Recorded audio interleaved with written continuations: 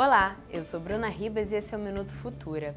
A partir deste ano eletivo, as escolas terão que avisar ao Conselho Tutelar quando um aluno atingir 30% do limite permitido de faltas. Antes, esse alerta era feito quando o estudante faltava mais da metade do limite estipulado. A Lei de Diretrizes e Bases determina que o aluno não pode ser aprovado caso tenha se ausentado em mais de 25% das horas de aula previstas. A nova medida foi sancionada pela Presidência da República e busca combater problemas como a repetência e a evasão escolar. Atualmente, 4 em cada 10 jovens brasileiros de 19 anos não concluíram o ensino médio. E segundo estudo do Unicef, 7 milhões de estudantes têm dois ou mais anos de atraso escolar. Para saber mais, acesse o nosso site futura.org.br e até a próxima!